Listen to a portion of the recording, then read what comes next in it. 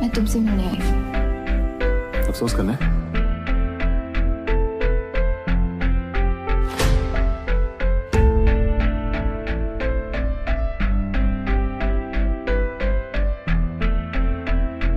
इतनी हेल्प की मेरी मैं नहीं आऊँगा।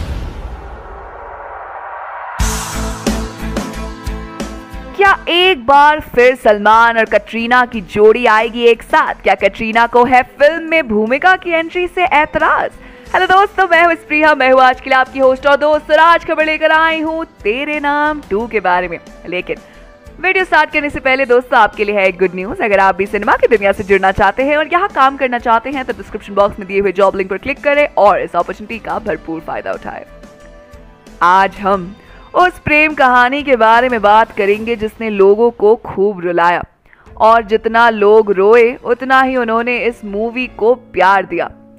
अब तक तो आप समझ ही गए होंगे कि हम किस मूवी की बात कर रहे हैं। चलिए, हम ही बता देते हैं कि हम बात कर रहे हैं सतीश कौशिक के डायरेक्शन में बनी फ़िल्म तेरे नाम की, जिसका फीवर लोगों पर आज भी चढ़ा हुआ है।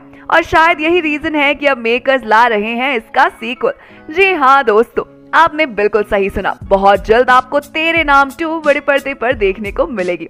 वही फैंस भी इस फ़िल्म को लेकर काफ़ी ज़्यादा एक्साइटेड है। अब हम सब जानते हैं कि तेरे नाम एक रोमांटिक फ़िल्म है और इसका सीक्वल भी सेम जॉनरा में बनाई जाएगी। तो अब ये तो ज़ाहिर है कि फ़िल्म के हीरो सलमान खान होने वाले हैं। लेकिन उनकी प्रेमिका के बारे में कभी सोचा है आपने? आखिर कौन होगी फ़िल्म की फीमेल लीड तो चलिए हम बताते हैं आपको।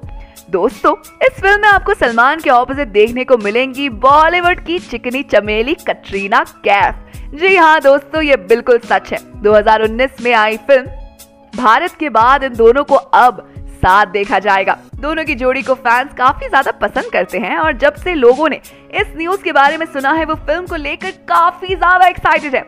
हालाँकि, अभी इसे लेकर कोई भी ऑफिशियल स्टेटमेंट सामने नहीं आई है। हम आपको पहले भी बता चुके हैं कि फ़िल्म में आपको भूमिका चावला भी देखने को मिल सकती है। लेकिन ऐसी खबरें भी आ रही हैं कि कैटरीना को फ़िल्म में भूमिका की प्रेजेंस से ऐतराज है। और इसकी ये वजह बताई जा रही है कि कैटरीना के मुताबिक भूमिका का कमबैक काफ़ी लाइमलाइट लेकर फ़िल्म में उनकी प्रेजेंस को हल्का कर सकता है। तो ये एक चिंता का विषय बन चुका है कैटरीना कैफ के लिए। अब देखते हैं कि क्या कैटरीना कैफ की इस मांग को कंसिडरेशन में लिया जाता है या नहीं। फ़िलहाल, हम आपसे जानना चाहेंगे कि तेरे नाम टू में आप सलमान के ऑपोजिट किसे देखना चाहेंगे? हमें कमेंट सेक्शन में ज़रूर बताइएगा। साथ ही अगर आपको आज के वीडियो पसंद आया हो तो इसे लाइक कीजिए, दोस्तों के साथ शेयर कीजिए और फिल्मी दुनिया से जुड़े रहने के लिए सब्सक्राइब कीजिए हमारे चैनल बॉलीग्राज स्टूडियोज को।